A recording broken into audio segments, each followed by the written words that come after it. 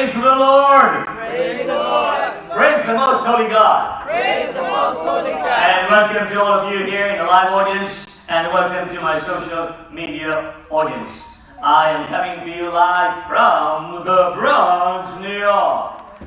Not California. California is burning.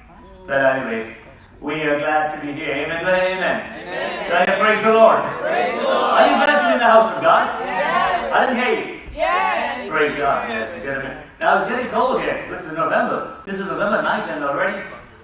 I'm not sure what happened here in the Bronx, but I know where I live in the Poconos, we had a snow flurry. Uh, was it yesterday, I think? I was like, what? What's going on here? And then I wake up this morning there, and ice flaked over the car. I like, oh no, this is getting crazy. But hey, why complain? Give God thanks, right? Amen. So we give God thanks in the rain, we give God thanks in the snow, we give God thanks in the hail, we give God thanks in everything. Because that's what I'm talking about. Hallelujah. Amen. Amen.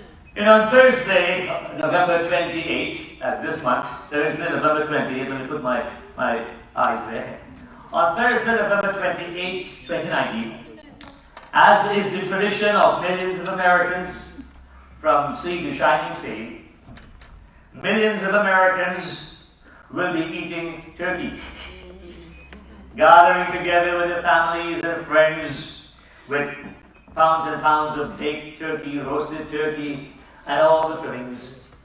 You know, the sweet potatoes and the corn and the cranberry sauce and the, the whatever drinks you have, I don't know, all this other stuff. Everybody has their own traditions, and that is fine. I'm all for that. I have nothing against that. I think that's a wonderful thing that was started by the Pilgrims in 1621. Some of you may not even remember that, but I was there in 1621. so, yeah. We knew you were all. Yeah, the pilgrims, you know, they were pilgrims and they celebrated, it was a harvest, actually, it was a harvest festival.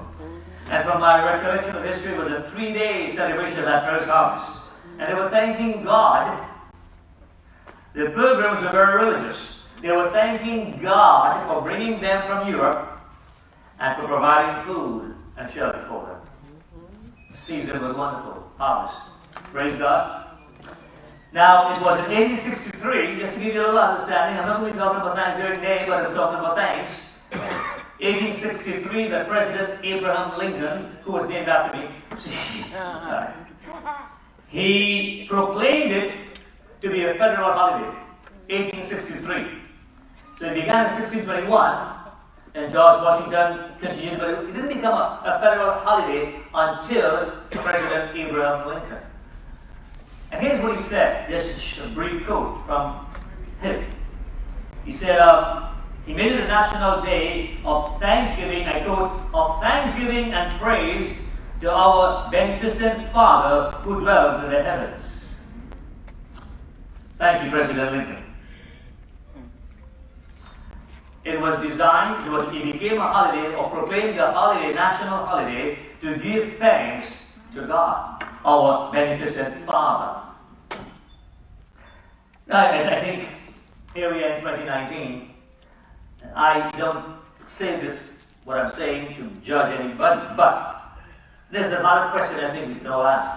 How many people in America, Americans, when they get together with their families and friends or whatever they do on Thanksgiving, how many pause to give our Father thanks? Yes. Thanks to God for all the blessings so that we can have the abundance of this food. Yes. How many of us look forward to Thanksgiving Day for the sake of the turkey and all the trimmings and the abundance of food? I mean, we have food and food and food, and people who plan, they cook and they cook and they cook, and their cup runs over. But do we ever, I'm just asking you, do you ever on your table say, before we eat, everybody will give thanks to God for something? Yes. We will pray and we will identify some things to say, Thank you, Father, for A, B, C, D, E, F, 1, 2, 3. Yes. Yes. Rather than have people come to your house or your friend, well, this turkey isn't good. This cranberry sauce isn't good. This is complain and murmur, complain and murmur and grumble, complain and murmur and grumble. Those people who complain and murmur and grumble will never enjoy life. Did you know that? So that's why I want to talk today about in everything give God thanks. In everything give God thanks. Now let me be very clear. It, whether or not you celebrate Thanksgiving Day, that's your personal business, okay? I believe it's a wonderful thing to do. Amen. And I choose to do it. You don't want to do it, then you don't have to do it. But I tell you one thing for sure. If you don't give God thanks every day in your life, you are lacking a lot. And you're going to be in big trouble. Don't wait for the last Thursday of November to give thanks. Thanksgiving is a daily activity that God expects from His children. Just as you, if you're parent, you expect your children, uh, it is to be infuriating and, and horrible when children never thank their parents. Yes. It is you parents. How does it feel when your children all they do is ask for things and never say, Thank you, mom. Thank you, dad. Thank you, mom. Thank you, dad. And we have to insist. If you don't say thank you, you get nothing else. Stop. We have to instill the value from the day they are born. Thank you. Thank you. Thank you. I want to show you from the Word of God why I'm going to. The last part of the sermon will be about the benefits of giving thanks, actually. And you'll be amazed at what the benefits are. Maybe you've never thought about it. You know, you just say, well, we should give God thanks. And that's theologically correct. But I want to show you the benefits of actually giving thanks to God on a daily basis. Amen? So if you open your Bible, you go to 1 Thessalonians chapter 5. Let me see what we have on the screen there. That, okay, give thanks in everything. Thankful. Okay, amen. Give thanks in everything. Hallelujah. 1 Thessalonians 5. Open up your sword, the Bible. And this is the Word of God. Blessed be His name. Lord, we thank you for your Word. You know, everything we preach here must come from the Bible. Go ahead, amen. Amen. Yes, so Paul the Apostle writing to the church at Thessalonica, and here is what he said. Here's what he wrote. Verse 16 Rejoice always, pray without ceasing, in everything give thanks, for this is the will of God in Christ Jesus for you. Now he connects, there is a connection between thanksgiving and praise. Some of us don't realize that even Christians, when you come in the house of God and it's time to praise, you should really be involved in praise. I want to make that observation. You need to be involved in praising God. When you're in the house of worship and we are singing praise, they're called singing praises. What do we do? You should be singing out praises to God. Amen. And for those, who, for those of you who still have hands that can be lifted, lift them up and praise God. Praise the Lord. Before the day comes and you can't lift them up. I see. I hope you see where I'm going with that. Some of us don't give God enough thanks, but all we do is mumble and grumble. We need to stop that and change. Turn to your partner, to your friend next door to you, next to you, and say, We need to change. You and I both need to change. Change. We need to change. Come on, say, "Well, We need to change. Give thanks. T- t- tell your neighbor, give thanks to God. Give thanks to God. Amen. Give thanks to God. So, in 1 Thessalonians 5, again, look carefully what Paul wrote. Rejoice always. How often is always? Always. Always. Don't wait for Thanksgiving Day. Don't wait for Christmas. Don't wait for your birthday. Don't wait for some anniversary. Rejoice always. Amen. Pray without ceasing. Not pray when you have a problem. Pray without ceasing. And verse 18. In everything give thanks. Now I know what you're going to say, but is that possible? In everything? What about bad things? I'll, I'll get to that later on in the sermon. In everything give thanks, for this is the will of God in Christ Jesus for you. Paul, Paul is not making a suggestion. Paul is saying giving thanks in everything is God's will for us. Amen. Do I hear that? Is God's will. So if you're going to tell me, and some people, well, I don't have anything to be thankful for, you have just insulted the grace of God. Yes, because you're alive. Amen. I hope you heard that loud and clear. I'm glad to see that the prayer this morning was all about praising, thanking God, thanking God, thanking God, thanking God. The more we thank God, the more we will see growth in our own lives. And the more God will bless us really. Amen? Amen. So before I expound this verse, I want to go to the Old Testament to show you where we see a great example of King David, who wrote the Psalms, a few of those Psalms, not all of them. there are many Psalms where David says, Give thanks to God. Amen. Give thanks to God. And enter into his gates with thanksgiving and praise. And enter into his courts. It is good to give thanks unto the Lord. So, first one, Psalm 92. Psalm 92. Our key scripture, remember, is 1 Thessalonians 5, verse 16, 17, 18. Uh, we will get back there. But let's go now to Psalm 92. Psalm 92. Very straightforward. Nothing, no great theology here. Uh, you can't miss the, miss the message. It is verse 1 verse 2. It is good to give thanks to the Lord and to sing praises to your name, O Most High. Hallelujah. Wow! Somebody said, Praise the Lord. Praise the Lord. It is, everybody, it is what? Good. It is what? Good. To do what? To give thanks to the Lord and to sing praises to your name, O Most High. Verse 2. I love verse 2. Look at it. Let's not miss it. To declare your loving kindness in the morning. So you wake up in the morning, listen well, you wake up in the morning, and the first thing you say is rather than, oh, some people wake up the first thing in the morning and go, oh, another day. Oh, I wish I didn't have to get up. That is so pathetic. So pathetic. If you're a Christian and that's how you wake up in the morning, you get up and you declare His loving kindness in the morning. Lord, I thank you I'm alive for another day. Praise God. Praise Lord. I'm going to go there and do what I've got to do for the glory of God. And notice the next part of the verse. And your faithfulness by night. Every night. So what he's saying, you wake up in the morning, immediately you declare the praises of God, and before you go to bed, you say, Lord, thank you for the day. Do you see what he's done there? Night, morning, you wake up in the morning, you praise God, you declare his praises, and you declare it again in the night before you go to bed. Thank you, Lord, for your faithfulness in providing everything.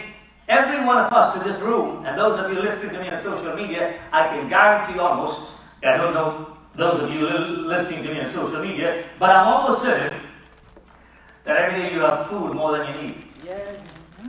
I'm almost certain here, those of you listening to me, that all of you in this room have more clothing than you need. Oh, yes.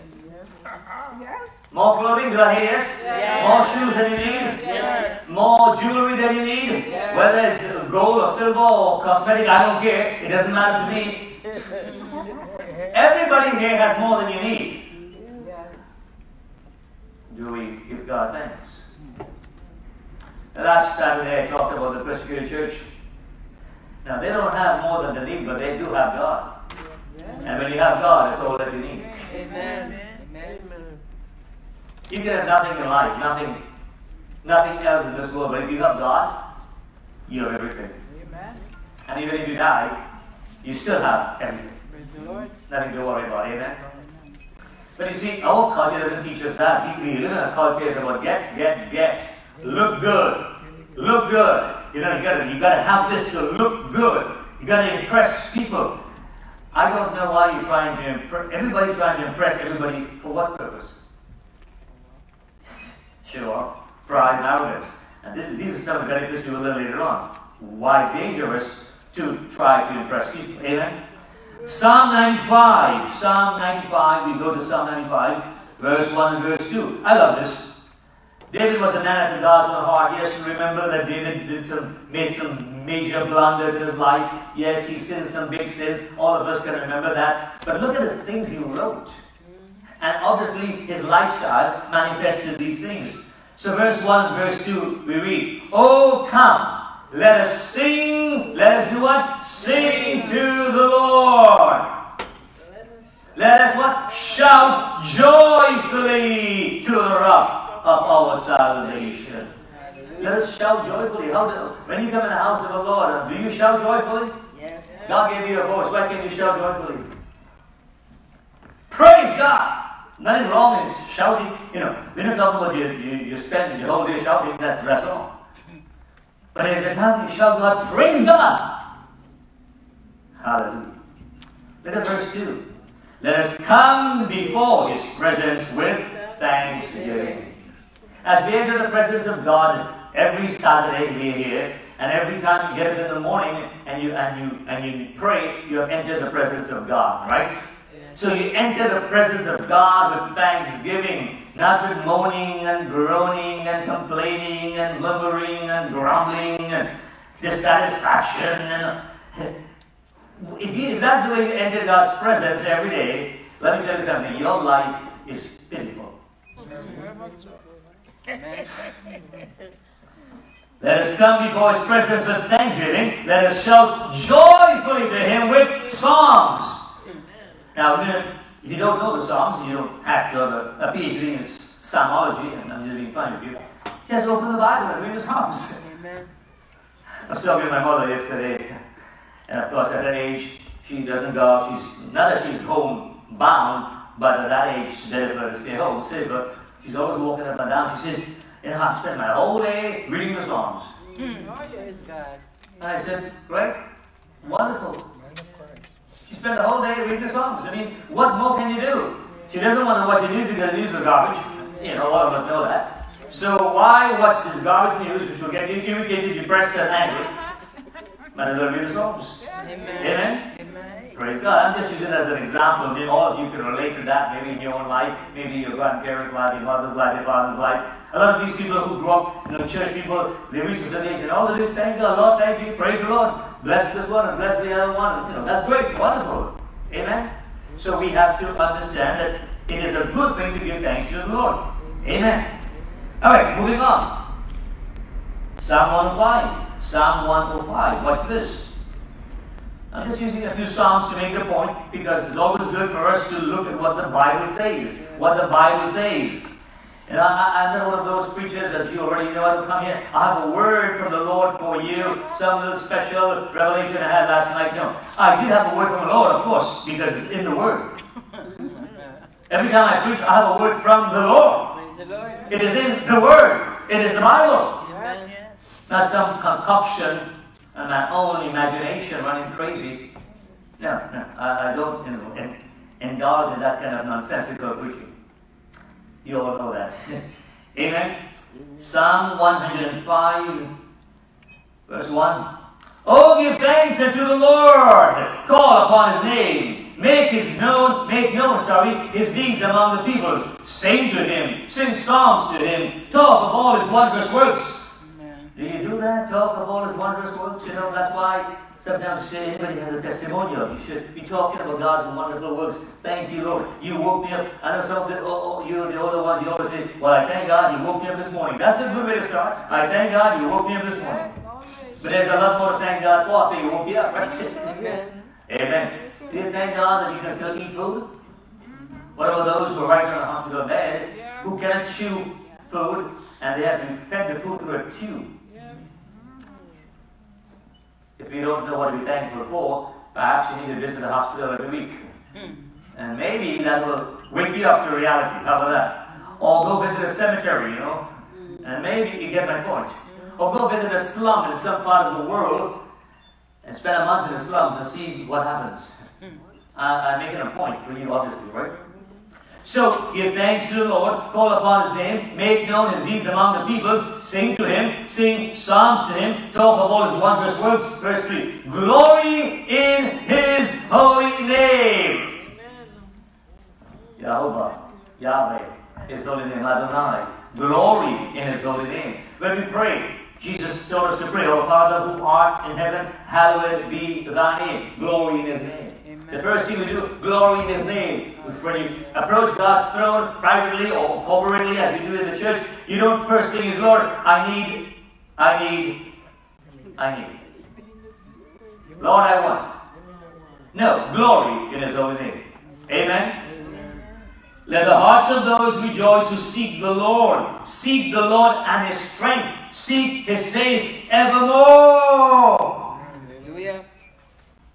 You know, I, I don't think we in the USA understand these verses anymore. You know, because I listen to some of these pastors once in a while, not regularly, because I, I'm growing wary of these television people.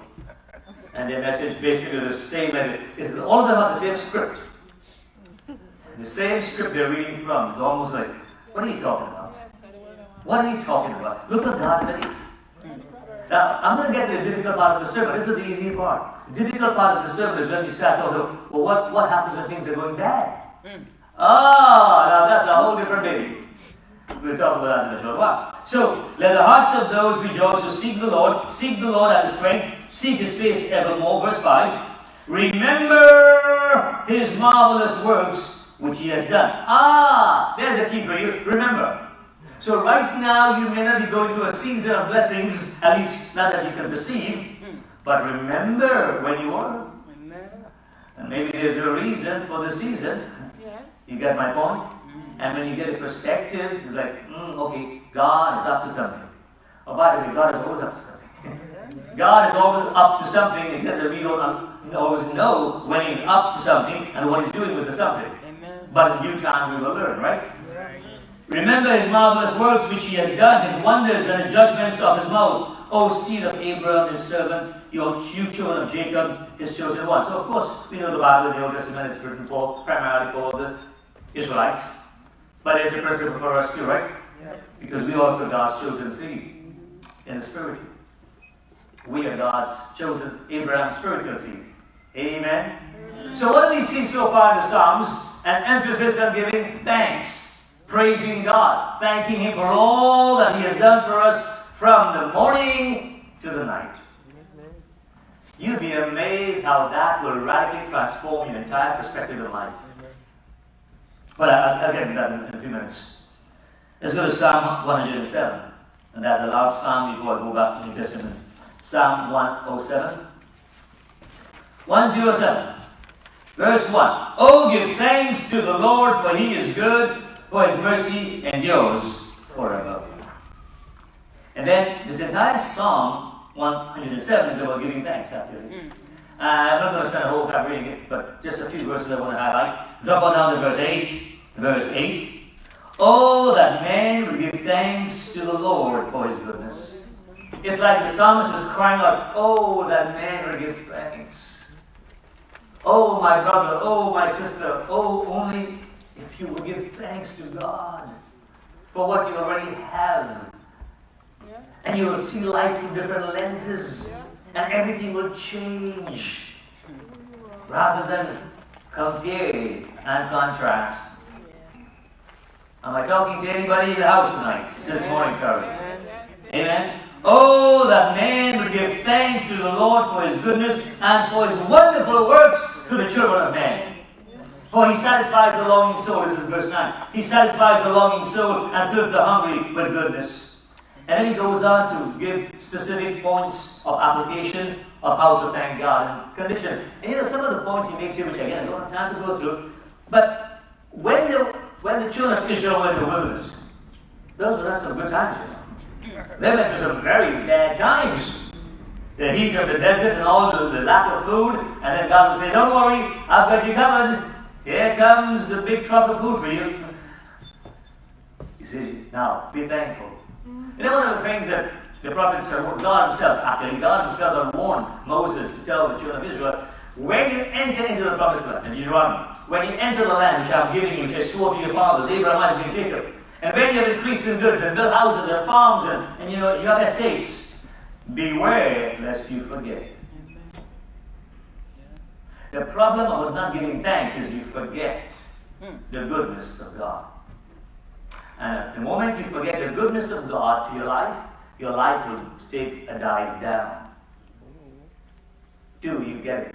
Yes. Amen. Amen. So he goes on and on and on. Verse 14, no, verse, verse 12. Therefore he brought, he brought down their heart with labor. They fell down and there was none to help. Then they cry out to the Lord in their trouble. And he saved them. Notice what God does. God allows them, God allows them to go into trouble. And then they cry out to God. And what does God do? He saves them. So in that way they can see the glory and the power and the goodness of God. Amen. Verse 15, Oh, that man would give thanks to the Lord for all his goodness and for his wonderful works to the children of men. You can read the entire section, Psalm 107, and be blessed over and over as the psalmist says, Oh, that man will give thanks to the Lord. Oh, that Christians will give thanks to the Lord. Every single day, every single day. Give thanks in everything. Now we get it. I'm coming to the difficult part. So, thus far from the Psalms, it's pretty nice. It's wonderful. God has blessed you, thanks. Something you wanted, thank you. What about when there's something you didn't want? Ah, oh boy. This is the part of the sermon that, um, you know, gets a little tricky for some. So let's leave the Old Testament for a while and go to the New Testament now. Oh, amen? Now, it's obvious by reading the Psalms that admonition to give thanks is it's clear. Nobody needs to explain it any further. It's very clear. It's an admonition, advice, good counsel, give thanks to God. But what happens when things are not going the way you want? Life becomes painful. Tragedies. You lost, you lose a wife, you lose a wife, you lose a husband, you lose a loved one, you lose your pet dog. However it is, you know, because for some people, their greater attachment is to the pet dog than to their own children. Um, what happens? So let's go back to 1 Thessalonians now, back to 1 Thessalonians. Let's put this in perspective. So Paul the Apostle is writing, and we will spend a few moments talking about Paul's life.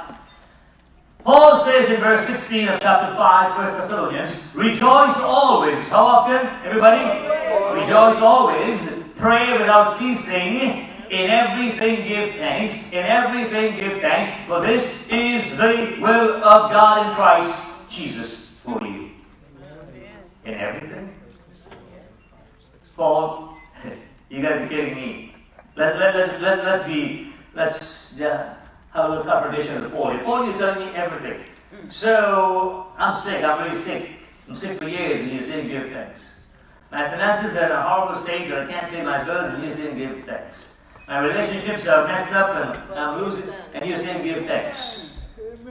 I can't get a job for external reasons, and you say give thanks.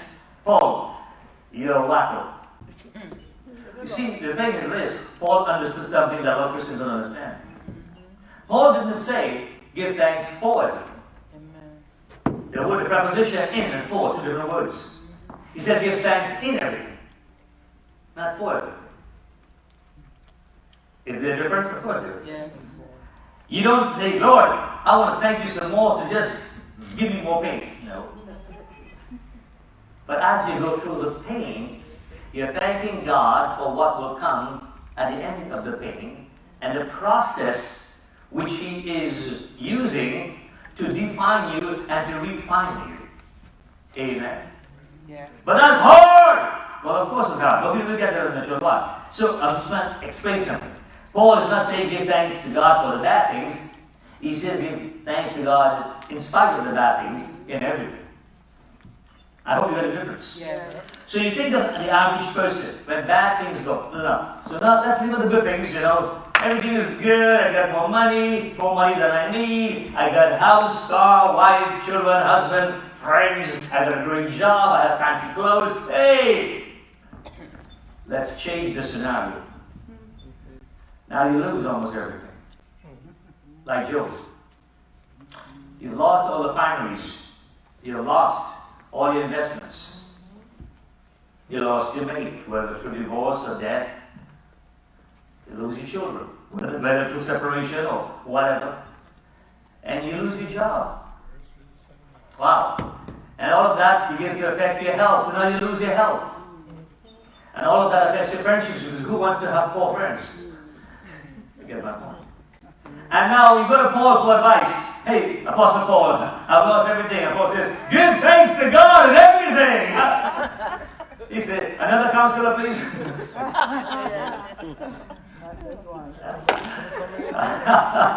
I, I, think I think you got the point, right? I think you got the point already.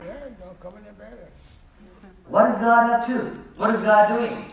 See, here in the U.S., especially in the recent times, we are treated to a culture that tells you, you know, it's about you, you, you, you, you. The whole emphasis, in, even in Christian culture today, is you. My friends, the emphasis is God. Mm-hmm. Amen. Christ working in you for His pleasure and His glory, and ultimately for your good. But you don't see that.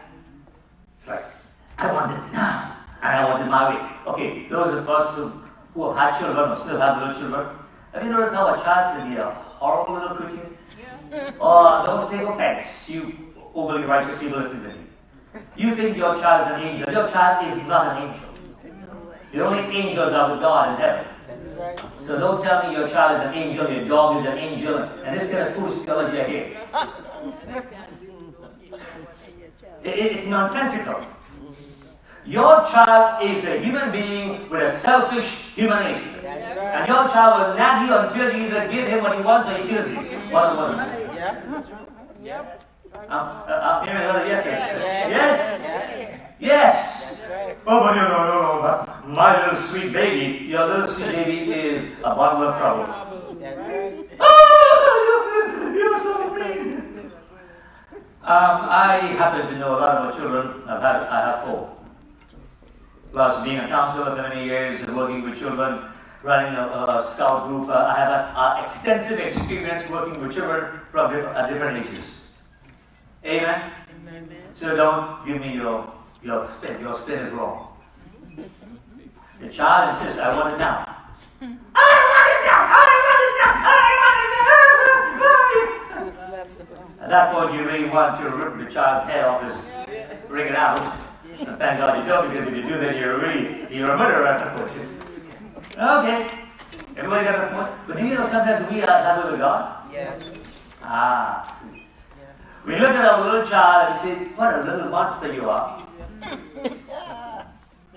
And we don't realize that sometimes in our relationship with our spiritual father, we are acting like that little monster. Although God doesn't call us monster. He still loves us.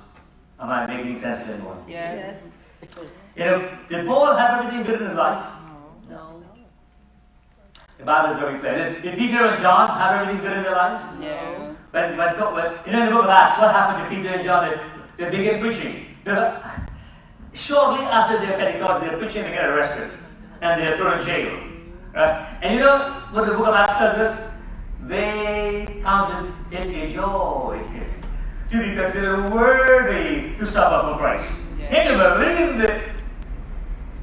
You want to see? Let's go to Acts chapter 5. Acts chapter 5. Acts chapter 5.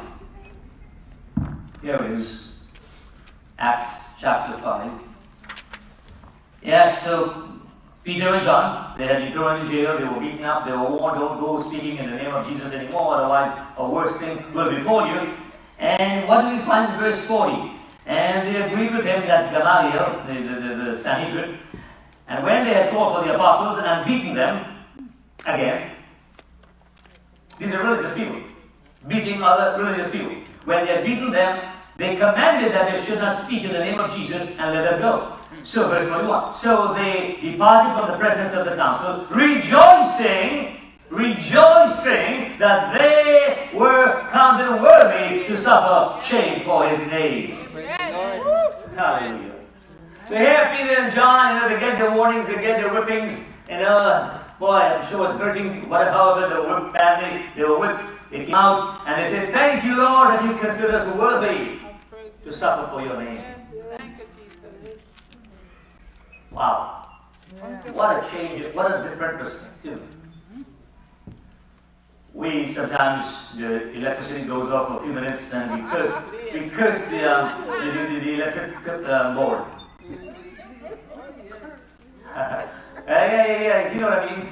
We, we want to curse all these companies because they, they mess up. We forget that they, they have imperfect people working with imperfect conditions, etc., etc. Whether or not they're doing a good job, a good job, a bad job. The fact of the matter is, we are living in a broken, messed up world. And yet we expect perfection from these organizations. And when we don't get that water delivered on time, or whatever delivered on time, we really get cranky and we are Christians. How about giving God thanks? Change the perspective. Lord, I thank you. Now that you shouldn't complain, there's a legitimate time to complain. Say, my, my phone is, I've had some problem with my phone. Okay. Um, for the last Tuesday night, my, my, my, my phone, which is a Samsung 8, you know, it's working perfect. And I'm trying to fix something in it, and um, instead of fixing it, it got worse. So I said, Oh Lord, what do I do? So I go over to where I bought it. And uh, the guy looks at me, he's, a perfect, he's an expert on these things. I said, you know, expert. I said, good, you're the, you're the man I'm talking to. And he took about one hour with me, very politely. And we developed a relationship, we're talking, you know, like friends almost, you could say. And he's patiently trying to solve a problem. And eventually he looks at me and says, you know, the only way we can solve the problem, we have to separate the glass from the back and that will break the glass because the, these phones are all sealed, not, not like old phones that you could unscrew them. They're sealed. Mm-hmm. And I said, so what are we when you buy a new glass? And I said, well, we, we can order it for you, it'll cost you so much money, and, but it'll take some time. And, and, and he said, I still can't guarantee after that it'll work. I'm saying, That makes sense. Yeah. but uh, exactly, but I'm calm. I said, Lord, take control because Working my, my, my phone, as you know, is, is, is my office, right? I, I need, that's what I live with. All of us mostly, we live on the phone. If you get my drift. For me, people contact my phone This is the thing that that number has been there for how many years? A long time. Since God made Adam, I've had a phone. or maybe that phone number, sorry. that phone number, not the same phone. So it, it came down to this. He the only thing I can advise then you have to upgrade, get a new phone. Get a new phone. Yeah. I said, but I can't afford that. You know those Samsung 10s at $1,000? I said, no, I can't do that. It has to be something. He says, but we do have another phone that is not as good as the Samsung 10, but as good as the one you have, which is a Samsung 8. Nine. But, but they, but they have the 8 and 9, but I I have the 8. So I said, what's it cost? He said, well, actually today we have a, sp- a special sale on that. I he's right. It was reduced from whatever it was to $170. Yay! New phone, yeah. I said, $170? And I said, I said, how much that'll mean in terms of payment per month? He said, only $7 a month for two years. I said, okay, give me the new phone. you get my point? Yeah. Now, so I buy the new phone. And he transfers everything from the old one to the new one. Everything he does, no problem. Good. I go home and I'm happy. Next thing you know, later on in the day, I haven't received, I didn't receive a single call. I said, that's strange, no calls. yet, I, yet I can call, but I can't receive any calls. No, no, I- it's, it's brand new, right? So that's a, I gotta call Verizon. I can't call the same company, but the person who I bought the phone, they are a Verizon agent. I called Verizon. And the lady said, oh yeah, well, let me check that out. You know, they have all these things, they check it out. And then eventually she calls me, and it works. She said, yeah, praise the Lord. And she was very pleasant, and so was I. We had great conversation. Everybody I called, we had great conversation. And It's almost like they will do anything for me, and many times they'll say, sir, it was a pleasure chatting with you. I wish we had more customers like you. Yeah. Amen. Yeah. I'm making a point. I just say, hey, I just bought this phone. It's a new phone. You people don't, you know, blah, blah, blah, blah, blah, blah, blah. That's how most people do. And then they will give, It is so, give you what, a- what an insult to God.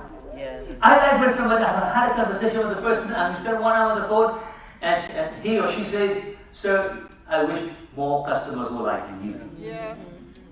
I praise God for that. Are we getting it? Yes. I'm not saying that to boast, I'm saying that to make a point. I must practice what I preach. Yes. Right?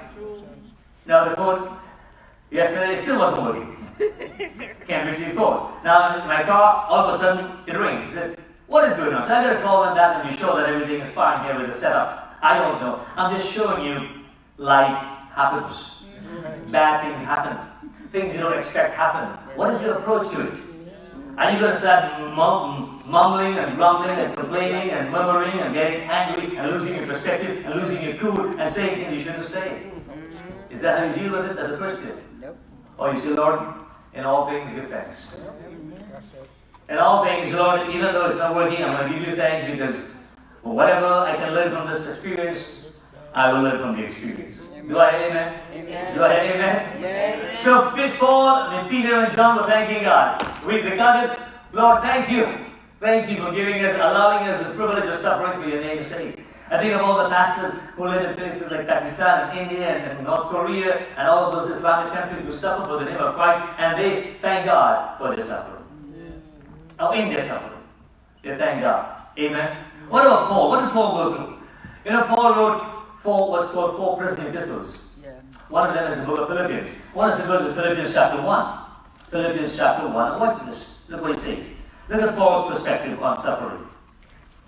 It didn't matter. He was in prison. Sometimes, perhaps, when you're reading the Bible, you might not realize that Paul is writing these things from prison. As a matter of fact, know, the book, the book, the Epistle of Philippians is the most joyful epistle. It's the epistle of joy. But what you don't realize, unless you do the background research, he was writing from prison. Mm-hmm. Look at what, what he wrote in Philippians chapter 1. Philippians chapter 1, verse 12. He says, I want you to know, brethren, that the things which happened to me have actually turned out for the furtherance of the gospel. Mm. Wow. Perspective. The things, the bad things that happened to me, I'm in prison, but actually God is using this for a greater purpose for the furtherance of the gospel.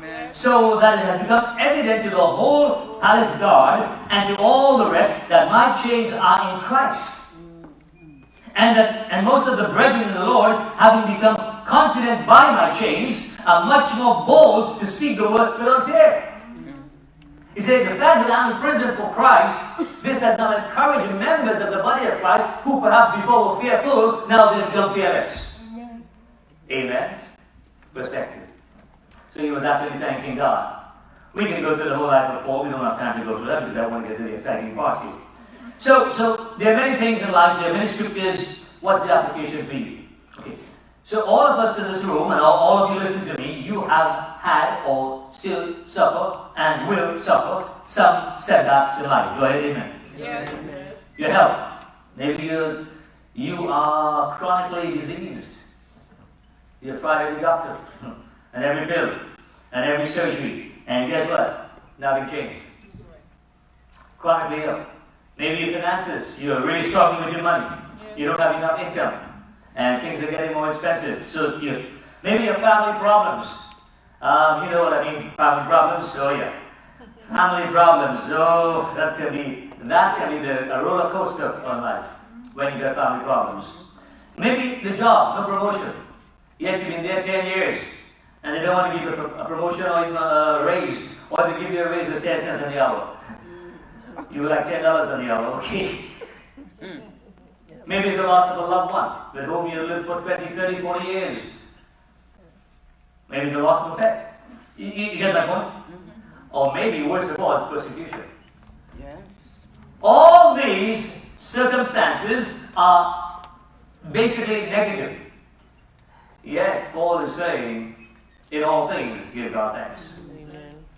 So whatever you're going through right now in your life, whatever that is to me too, whatever I am going through in my own life, whatever you're going through in your own life, as a Christian, God is saying to you and to me, in all things, give thanks. I don't see what good will come from this, Lord, and God will say to me, you don't have to see what good will come. I've already seen it, foreseen it, I will bring it to pass. Amen. By faith. By faith, you make the next step. Do I amen? amen? By faith. Turn to your neighbor and say, by faith, you must make the next step. By faith, you must make the next step. Hallelujah. By faith, you make the next step. Not worry. Give God thanks and everything. So, the whole, I, I can go to the Gospel, I don't have time to go there, but the whole point here is this. We who are Christians have to live a lifestyle of praise and thanksgiving. Praise and thanksgiving. This sermon is primarily focused on thanksgiving, giving thanks, giving thanks in all things. So, what are the benefits of giving thanks? Uh, now we come to the good one part, right? Again. Uh. I'm going to give you 12 points.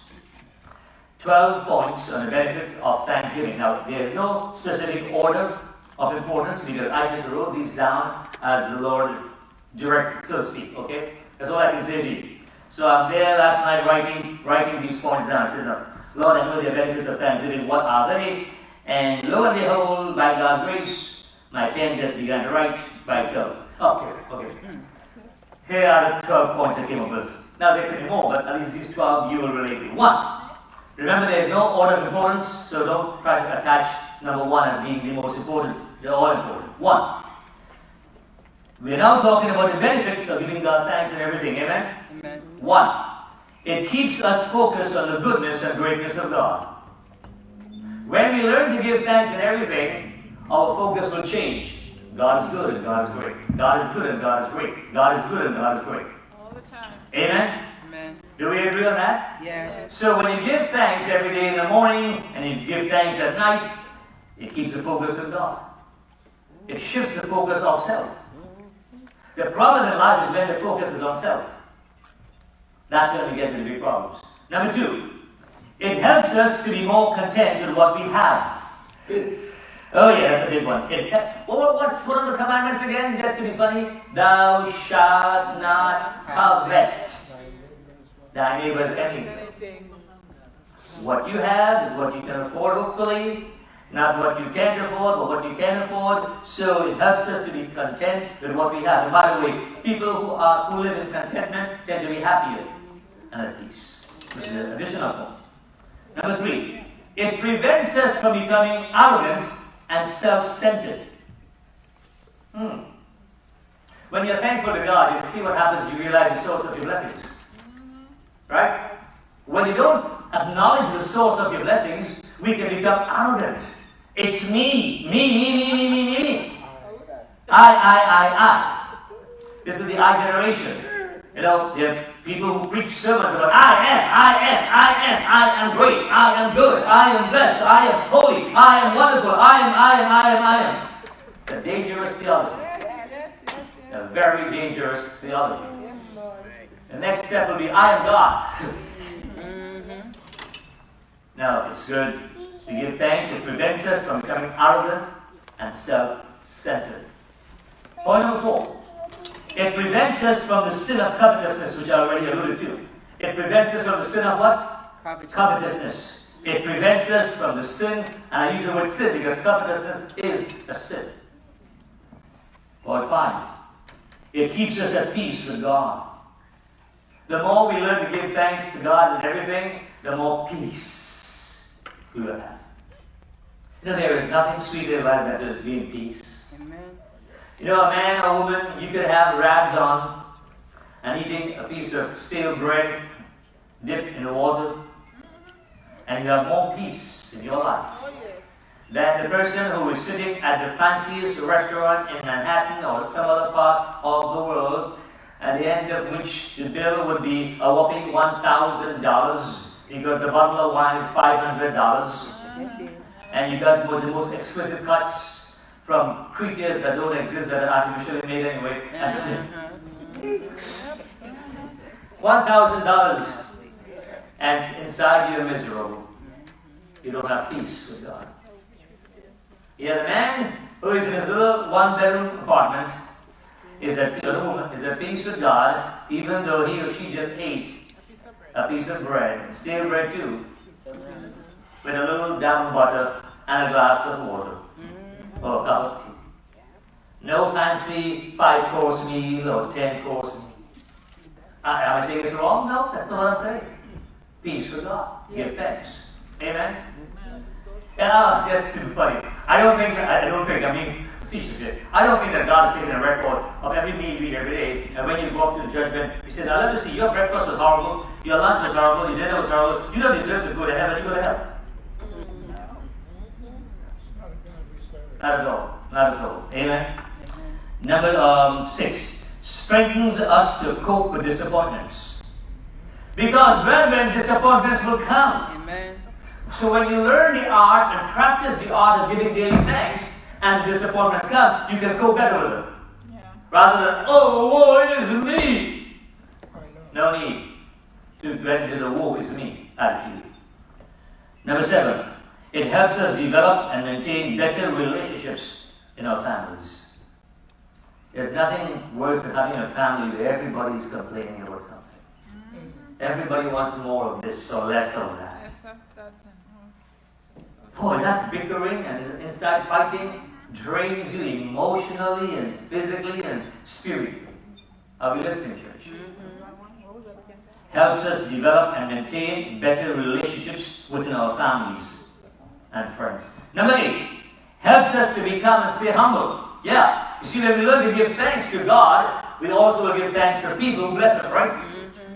So we're giving thanks, that keeps us humble, and we realize we need people to live. There is nobody here or anywhere on earth who does not need another human being. Even the multi-billionaire needs a human being. Because the multi-billionaire didn't make the plane he flies on. Yeah. Somebody else needs it. Or the car he drives. Or the phone he uses. Are you with me? Yes. Number eight. Number nine, sorry, right? Yes. Saves us from harmful, destructive emotions. Saves us from harmful, destructive emotions. That's a whole sermon right there. How many of us enjoy having emotions that are topsy-turvy, unstable, up, down, up, down. You're like a roller coaster all day long.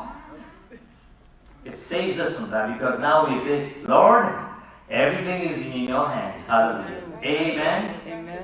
Number 10, it stabilizes us as we learn to depend on God. We are stable. Lord, I am depending on you. I don't see how this is going to work out. And God says, Yeah, I know you don't see it, but you don't have to see it. I'm seeing it for you. Amen. So it stabilizes us. Number 11, it empowers us to become more effective witnesses for Christ. Because when people see that you are suffering loss of whatever you have lost, or whatever the, the hardships are, the pains are, and they see how you're coping skills and you're still glorifying God, you know what you're doing? You are empowering them to stay strong in the Lord. Ahead, amen. Amen. And number 12. And this was the only one that was deliberately put at number 12 because this, this is like, like a capsule. It gives us eternal perspective by which we more, we more eagerly await and anticipate the kingdom of God. Number 12. It gives us, giving thanks, gives us eternal perspective by which we more eagerly anticipate and yearn for the kingdom of God. As we go through our sufferings in life, we say, Lord, I know one day, Lord, you're coming back. I know one day I'll be with you, Lord. I know one day it'll all be over. So now we anticipate the kingdom of God rather than cry and cry and cry. Am I making sense to anyone? Yes. So, beloved, don't lose the perspective. Don't lose the perspective. It's easy. See, the winds of our culture have shifted dramatically now. And everybody seems to be beating up on everybody else like it is their business. You notice in the world of social media, everybody has an opinion on everything. Don't allow social media opinions to derail your walk with God. Stick to the Word of God. Be thankful you have the Bible. Whenever you open the Bible, do you thank God for the men who risked their lives to preserve this Bible? Do you thank God for the men who risked their lives to translate the Bible from one language to another? It happens to become Yeah. unstable. Men who were burnt to the stake. Yeah. Some of us don't realize these things. Yeah. We should be thankful. Keep the perspective. Life as a Christian, as I as I close, life as a Christian is not about comfort, mm-hmm. convenience, abundance, and pleasure. Amen. Although we will have levels of comfort. Right? Yeah. You buy winter clothing, that's a level of comfort. But that's not the focus of life. So don't miss what I'm saying. It is good and wonderful to have some comfort and convenience and abundance and pleasure. Nothing's wrong with that. But if your life is focused on those things, you're going to miss the point. Yes. Because when you don't have that, what happens? Amen. That's when you go downhill. So if your focus is about comfort, convenience, um, abundance, and pleasure, and then things get in the way, you're going to nosedive down, emotionally and spiritually. So rather than focus on comfort, convenience, abundance, and pleasure, how about focusing on challenge? Right now I'm challenging you, right? But you know what challenge does? Challenge makes you grow. Yes. So challenge and growth. Without challenge, there is no growth. Think of it. Without challenge, there is no growth. So you have to be challenged from point one to point two. Step one to step two. You have to be challenged to move up the ladder. You have to be challenged to go higher up on the mountain. Because a lot of us like to stay in the valley and just be relaxed. No, God says you're going to climb a mountain. Mountain of life. Number three, the third point here, character. So, life as a Christian is about challenge, growth, character. What is God doing? He's developing character in us for the fourth point, to conform us to Christ. Character and conformity to Christ. What is God doing with you and me? He's building character so that we can be conformed to the glorious image of His Son, Jesus the Christ. Do I amen? amen? So, beloved in the Lord, whatever you're going through in your life, nobody is diminishing or discounting the pain. We all have, including myself, lots of pain and struggles in life. But only one thing keeps me going. My focus is, Lord, I thank you. Something you're doing in my life that you feel that you need to do and you need to work out, blessed be the name of the Lord. So this is why now I can say like Paul, in all things give thanks. So let's give God thanks in everything and don't wait for Thanksgiving Day. And many Americans like to call it Turkey Day. I hate that. I hate when you call it Turkey Day. It's not Turkey Day. It's Thanksgiving. We're giving God thanks for the turkey. And thanks for all the abundance we have. And thanks for our families. And thanks for our friends. And thanks for the church. And thanks for Jesus the Christ. Amen. Hallelujah. And thanks most of all that my name is written in the Lamb's Book of Life. Hallelujah. Blessed be his name. That's the perspective we need to have. So, beloved, no matter what happens on maybe this Thanksgiving Day, you don't even have any plans. Maybe it's just you by yourself. Maybe you have to go to work that day. I don't know. But you know what? Even if you have to go to work, you can give God thanks. Amen. And if it's you alone, you alone, you can still, hey, here's a little thought for you. Let's just suppose it's you alone, okay? You have no invitation, anybody, and vice versa. You cook yourself a little meal, or buy yourself a little meal, set up a nice table. You could ask Brother Carlos how to do that. Make it look really spiffy, you know what I'm saying, brother? Make it look nice. Put the, all of the decorations and the bouquet of flowers. And you have two chairs, one for you and one for the Lord. Amen. Amen. I'm serious. I'm dead serious. And then you pray, Dear Lord, thank you for joining me today at this table. Amen. Think I'm not crazy, right? No, I'm not crazy. You, you know I'm making sense. Yes. Because that is what will empower you That's wonderful. for tomorrow Yes. And for next week and for next month and for next year and until your dying day. Amen. In all things, give thanks. So, we take this opportunity two weeks in advance to wish you a happy Thanksgiving Day, whoever you are, but more importantly, to encourage you, instead of complaining and murmuring, give God thanks in everything, every single day, for the rest of your life. Amen, amen, and amen. Hallelujah.